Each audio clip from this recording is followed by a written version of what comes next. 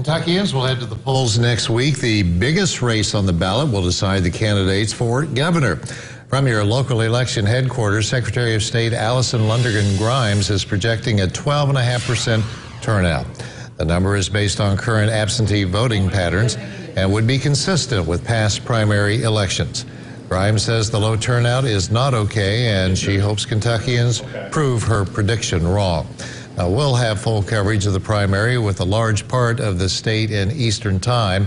We will start airing results when the polls close in Central Time and keep you updated throughout the night.